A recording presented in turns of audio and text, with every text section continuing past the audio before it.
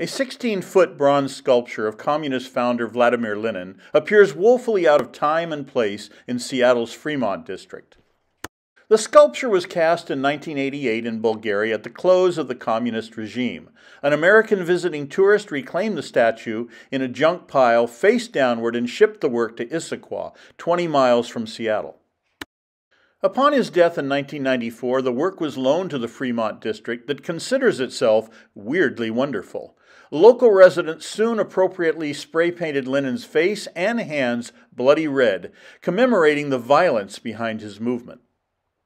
Seattle residents and visitors have simply become accustomed to its towering presence. The sculpture has become nearly invisible. The tragedy is that Lenin's contribution to global suffering has not gone away today and has been reborn in other terrorist causes.